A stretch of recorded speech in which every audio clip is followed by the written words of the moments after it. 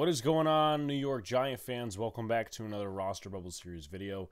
Please hit the like button, comment, and subscribe. Turn on post notifications so you know when a live stream pops or drops. Appreciate y'all coming back. Also, share this out. It is a dead time in the NFL offseason despite training camp being a few weeks away. So, sharing this out, getting it out to your dog, cat, sister, brother, whatever, getting more people to this video, video series, and channel overall does a lot. So, appreciate it as always as we continue to grow this channel. So another roster bubble series video. How I do these videos is I take a player that's on the roster bubble. I go into their background. I go into their competition, how they could win a spot on the roster, how they could lose a spot on the roster, and then at the end, I predict whether they'll make the roster or not. about five to ten minutes long. Usually, sometimes it could take just a tad longer. So today's profile is a familiar one to New York Giant fans, Matt Peart. He was drafted out of UConn by the New York Giants back in 2020. Started one game for the team, played in 11, got more playing time as the season went down. I think he got his first snaps in either week five or week six or week seven. Week six it was, I remember, because Andrew Thomas was benched because he showed up to a meeting late. So he was benched for the first quarter, and Matt Peart started at left tackle, which we all we all can sit back and laugh at that now, knowing Thomas is one of the best left tackles in the league, and Joe Judge is back on the Patriots. But anyway, I digress. Uh, Peart, as I said, he uh, you know played in 11 games, rotated with Cam Fleming at the right tackle position. He played 22% of the offensive snaps in those 11 games, 6% on special teams. Then it goes, goes into the 2021 season where a lot of us are anticipating look, he's going to be the starting right tackle. Hopefully, he beats Nate Solder out of camp. Now, a lot of people were saying, okay, Nate Solder looks good.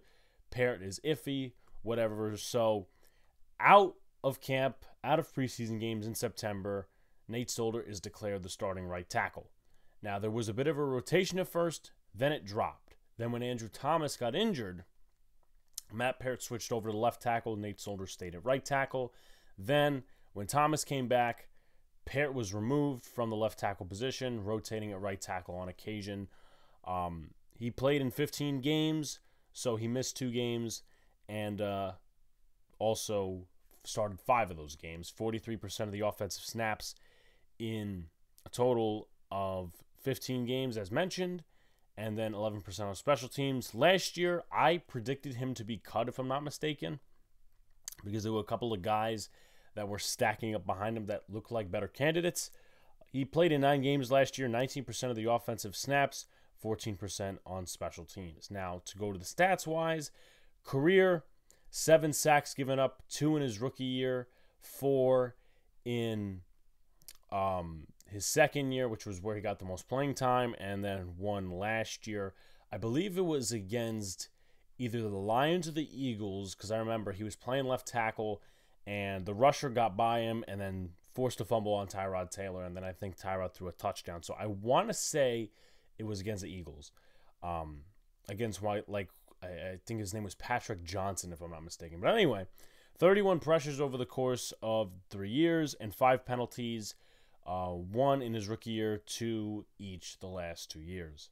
What does his competition look like? I would say it's a little bit more advanced than last year. Tyre Phillips, who's played a ton of games over the course of his career as a backup, offensive guard, offensive tackle, he's versatile in that area.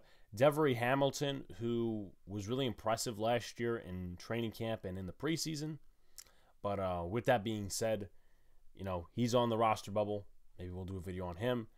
Korey Cunningham, who was cut by the Patriots, originally started out as a Cardinal, was moving around the league a little bit. The Giants had him in 21. They also had him in 22 as well in some occasions. And then uh, Marcus McKethan.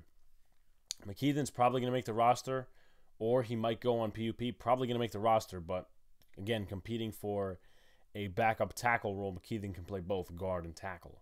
So how can he win? Versatility I mean, also staying healthy as well. We're going to get to that in just a second, but versatility um, is a big one. It is a big one because uh, there's been talks the last few years of Matt Peart. Oh, can he play guard? Can he play tackle? Well, there's a lot of different guys on this roster that can do both, and we haven't necessarily seen Peart play guard in game snaps yet.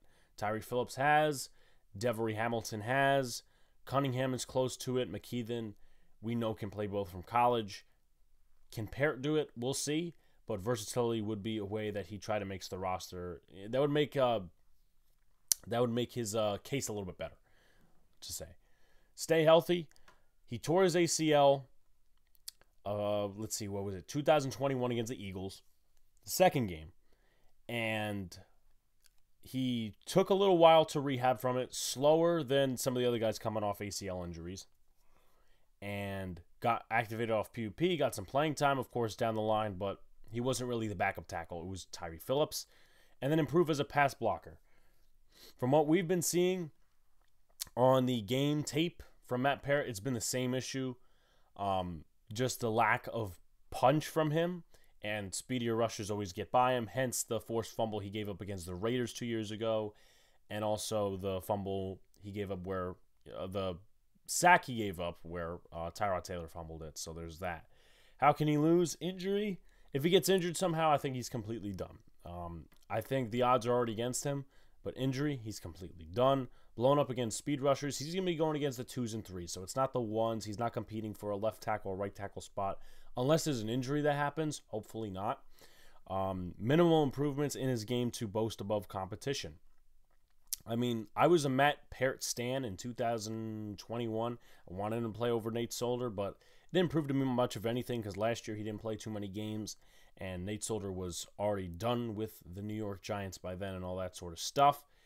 But if he doesn't boast his game against twos and threes, if he doesn't improve as a pass blocker, I could see him getting cut. Unfortunately, though, I do see him getting cut. I think I saw him getting cut last year as my prediction. But Tyre Phillips, I mean, he's a guy that has experience already. I thought he played solid with the Giants last year when, in those games that Evan Neal was hurt. Devery Hamilton, he's got versatility. I don't know that he does make the roster. I don't know, you know, what the case is there. We'll do a video on it. But um, he definitely has a little bit more of an up over Peart because Hamilton – uh, you know, obviously came in last year. Peart is also Gettleman's guy and Judge's guy, so it's not going to be cut and dry. Korey Cunningham, I think he's got more experience than Peart. And uh, McKethan, obviously they drafted McKethan. They didn't draft Peart. So uh, I think Matt Peart is cut, and he'll probably go to another team. I don't think the Giants will keep him on the practice squad. Like, comment, subscribe, do all the good stuff. Turn on post notifications so you know when a live stream pops video drops. Appreciate y'all coming back. One of these till the middle of training camp every single day. Peace out, guys. See you later. Stay cool.